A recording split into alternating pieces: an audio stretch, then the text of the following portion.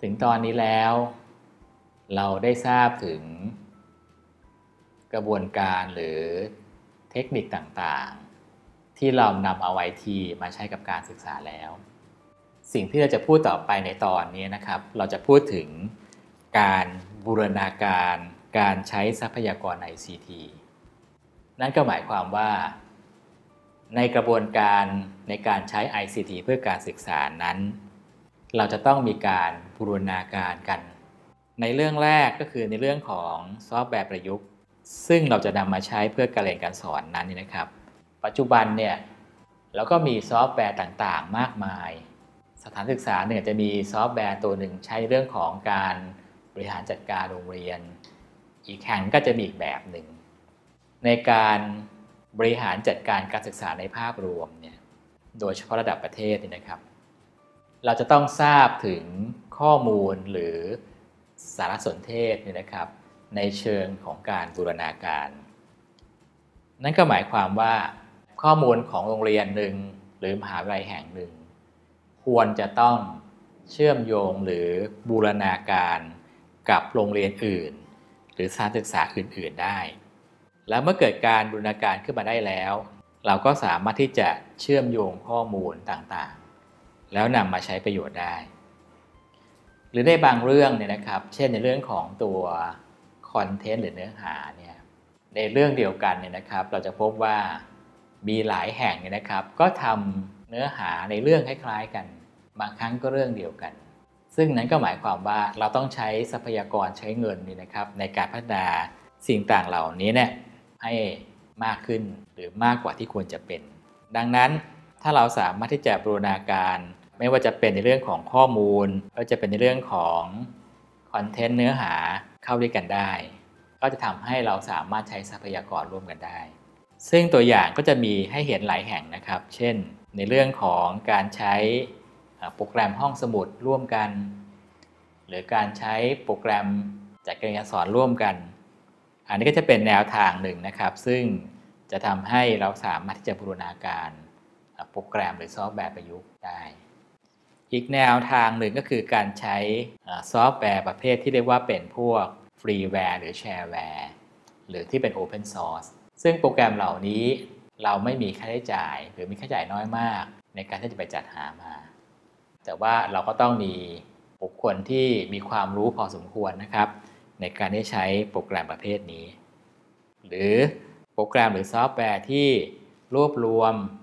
เอามาไว้ในเว็บไซต์เดียวกัน ซึ่งเราเรียกว่าเป็นลักษณะของเว็บท่านี่นะครับนะก็จะทำให้การใช้ประโยชน์นี่นะครับจากโปรแกรมหรือจากซอฟต์แวร์ร่วมกันเนี่ยมีมากขึ้น ในด้านของทรัพยากรมนุษย์ ซึ่งแน่นอนครับว่าอันนี้เป็นเรื่องที่มีความสำคัญ เราเคยกล่าวไปแล้วหลายครั้งว่า เรามีเครื่องมือที่ดีก็ตาม เรามีฮาร์ดแวร์ที่ดี เรามีซอฟต์แวร์ที่ดีเนี่ยแต่ถ้าเกิดคนใช้ไม่เป็นเนี่ย สิ่งที่เรามีก็จะได้ประโยชน์น้อยมาก ดังนั้นกระบวนการในการใช้หรือการบูรณาการทรัพยากรมนุษย์เนี่ยก็คงจะต้องมีกระบวนการที่ชัดเจนและเป็นรูปธรรมยกตัวอย่างเช่น ในการศึกษาของเราเนี่ยเรามี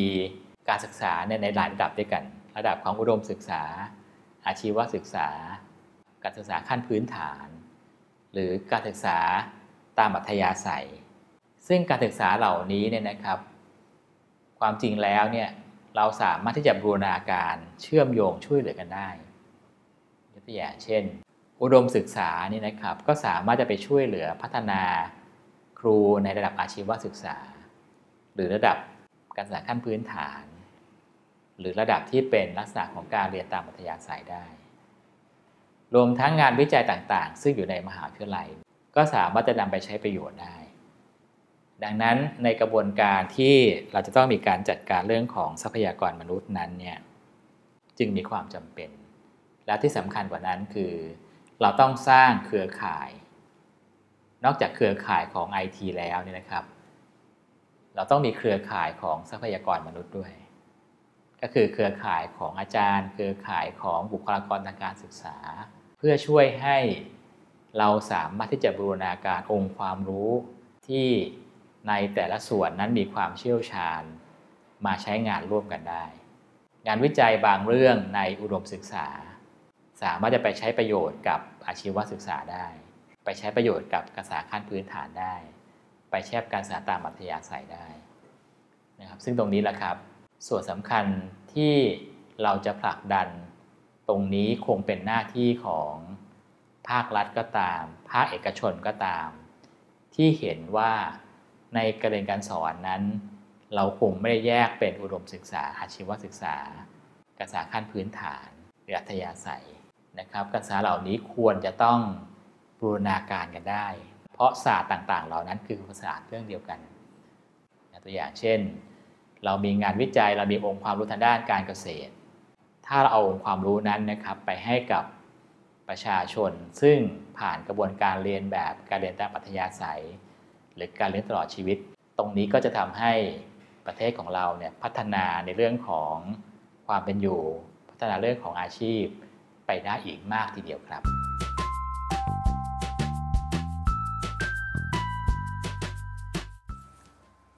สวัสดีค่ะ ในส่วนของศูนย์การศึกษาทางไกลทางอินเทอร์เน็ตนะคะ ตอนนี้ก็จะขอแนะนำในส่วนของการพัฒนาสื่อ e-learning ของมหาวิทยาลัยศิลปากรนะคะ ว่ามีประโยชน์อย่างไรบ้าง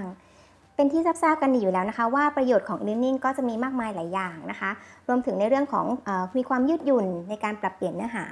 มีการสะดวกเข้าใช้งานได้มากขึ้นใช่ไหมคะ อย่างเช่นนักศึกษาอยู่ที่ไหนก็สามารถใช้งานได้ นั่นก็คือไม่จำกัดสถานที่และเวลานะคะ เข้าถึงได้ทุกที่ รวมถึงสามารถเข้าถึงข้อมูลได้ง่ายนะคะ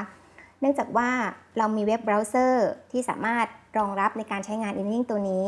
อีกทั้งยังสามารถปรับปรุง ข้อมูลให้ทันสมัยก็สามารถทำได้ง่ายเช่นกันนะคะ อยากแก้ไขเนื้อหาณเวลาใดผู้สอนหรือว่าเจ้าของวิชาก็สามารถแก้ไขได้ทันท่วงทีนะคะ อีกทั้งยังประหยัดเวลาในการเข้าใช้งาน นักศึกษาหรือว่าผู้เรียนเนี่ยก็ อยู่ที่ไหนก็เข้าใช้งานได้ ไม่ต้องเดินทางมาที่สถาบันก็ได้นะคะ ทีนี้ในส่วนของการพัฒนา e-learning ของมหาวิทยาลัยศิลปากรเรามองในแง่ของประโยชน์อยู่ 2 ด้านนะคะ ก็คือประโยชน์ในส่วนของด้านสำหรับอาจารย์ ในส่วนของอาจารย์ก็จะมีประโยชน์ก็คือว่าอาจารย์สามารถนำสื่อ e-learning ตัวนี้ที่ผลิตเข้าไปตัวนี้ค่ะ คือสามารถนำเป็นผลงานทางวิชาการได้นะคะ อีกทั้งยังได้สื่อรายวิชาที่เป็นวิชา e-learning ตัวนี้ เอาไปใช้สำหรับในการจัดการเรียนการสอนสำหรับนักศึกษาในชั้นเรียนได้นะคะ ในแง่ของประโยชน์สำหรับนักศึกษานะคะ ก็จะเป็นในส่วนของนักศึกษาก็จะมีสื่อสื่อเสริมสำหรับในการทบทวนได้ตลอดเวลานะคะปัจจุบันตอนนี้นักศึกษาก็จะมีอุปกรณ์ที่รองรับในการใช้งานไม่ว่าจะเป็นคอมพิวเตอร์พกพา หรือโน้ตบุ๊กตัวนี้นะคะ ก็สามารถเข้าใช้งานได้ ทีนี้เราก็จะมาดูในส่วนของขั้นตอนของการสร้างสื่อ e-learning ของมหาวิทยาลัยศิลปากรของเรานะคะ ว่าเรามีขั้นตอนในการทำงานอย่างไรบ้าง เนื่องจากว่าในส่วนของศูนย์การศึกษาทางไกลทางอินเทอร์เน็ตตัวนี้ค่ะ เรามีสตาฟนะคะในการผลิตสื่อในแต่ละขั้นตอนก็จะมีแบ่งออกเป็นในส่วนของ ID แล้วก็ TA นะคะที่คอยติดต่อประสานงานรวมถึงวิเคราะห์เนื้อหาที่เราได้รับจากอาจารย์ อีกทั้งเรายังมีในส่วนของstaff ในด้านกราฟิก ที่เอาไว้สำหรับในส่วนของการสร้างสื่อแอนิเมชันต่างๆ หรือว่าจะเป็นพวก simulation พวก 3D หรืออะไรพวกนี้นะคะ ก็เราก็จะมีนักคอมพิวเตอร์กราฟิกที่คอยผลิตสื่อตัวนี้ให้เรา รวมถึงเราจะมีโปรแกรมเมอร์นะคะที่เอาไว้สำหรับในส่วนของดู ดูแล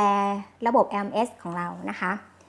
และสุดท้ายจะขาดไม่ได้เลยนะคะ ตัวเอกหลักของตัวขั้นตอนในการผลิตสื่อนะคะ ก็คืออาจารย์ที่เป็นผู้เชี่ยวชาญทางด้านเนื้อหา รูปแบบของการผลิตสื่อในนิ่งของมหาวิทยาลัยศิลปากรเรามีทั้งหมด 4 รูปแบบนะคะก็คือ จะเป็นในลักษณะของข้อความแล้วก็รูปภาพนะคะหนึ่งส่วนละแล้วก็จะมีในส่วนของการปฏิสัมพันธ์โต้ตอบ หรือว่า interactive นะคะจะมีในส่วนของซิมูเลชันที่เป็นภาพเคลื่อนไหวต่างๆ และสุดท้ายก็จะเป็นในส่วนของกิจกรรมหรือว่าแบบฝึกหัดนะคะสำหรับให้นักศึกษาได้ลองทบทวน แล้วก็ลองปฏิบัติดูนะคะ เพื่อที่จะได้วัดความรู้ความสามารถของตัวเองด้วยนะคะ ทีนี้เราก็จะมาดูในส่วนของตัวอย่างสื่อ e-learning ที่ศูนย์ของเราทำนะคะ ว่ามีหน้าตาแบบไหนบ้างสำหรับการเข้าใช้งานตัวระบบ e-learning ของมหาวิทยาลัยศิลปากรนะคะ ก็สามารถเข้าใช้งานได้ที่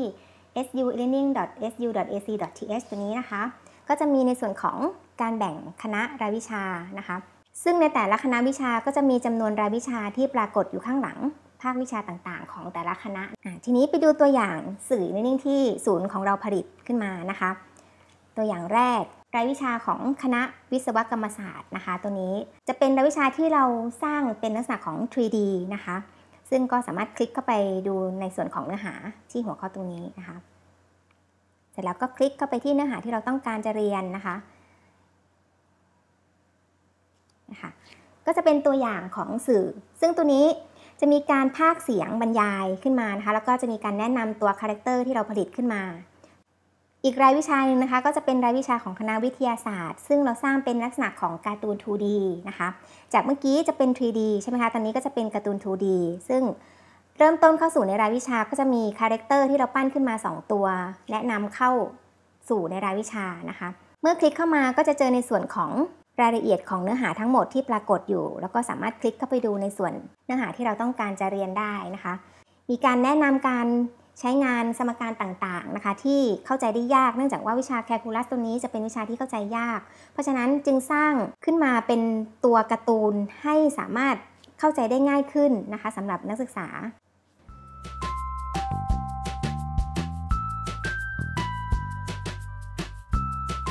ในการบูรณาการการใช้ทรัพยากร ICT นั้น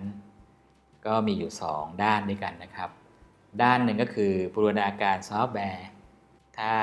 สถานศึกษาบางแห่ง พัฒนาซอฟต์แวร์โปรแกรมแล้วใช้ได้ดี ก็อาจจะให้สถานศึกษาอื่น หรือหน่วยงานอื่นไปใช้ได้ หรือบางที่เราก็จะมีลักษณะที่เป็น Open Source นะครับสามารถที่จะมาใช้ประโยชน์ได้ ก็จะช่วยให้ เราสามารถจะลดการใช้งบประมาณในการจัดหาโปรแกรมหรือซอฟต์แวร์ได้ และในเวลาเดียวกัน ข้อมูลต่างๆที่เกิดขึ้น เราก็สามารถที่จะมาบูรณาการใช้ประโยชน์ในการบริหารจัดการ หรือช่วยในการตัดสินใจได้ ในส่วนที่เกี่ยวข้องกับทรัพยากรมนุษย์ เราสามารถจะบูรณาการหรือสร้างเครือข่ายของบุคลากรทางการศึกษา ไม่ว่าจะเป็นครู อาจารย์ นักวิจัย ในระดับต่างๆ กัน เครือข่ายเหล่านี้ก็จะช่วยให้องค์ความรู้ต่างๆนั้นนะครับ สามารถที่จะ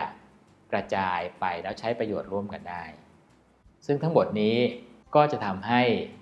การใช้ IT เพื่อการศึกษา นอกจากจะได้ประโยชน์ในเชิงที่แต่ละสถานที่แต่ละสถานศึกษาได้ใช้ประโยชน์แล้วนะครับ ยังเกิดประโยชน์ร่วมกันในภาพรวมด้วย และทั้งหมดนี้ก็จะช่วยให้เราสามารถลดทรัพยากร ลดงบประมาณ แล้วใช้ประโยชน์จากเรื่องของ IT ใช้ประโยชน์จากผู้รู้จากผู้เชี่ยวชาญเนี่ยให้เกิดประโยชน์ได้อย่างเต็มที่ครับ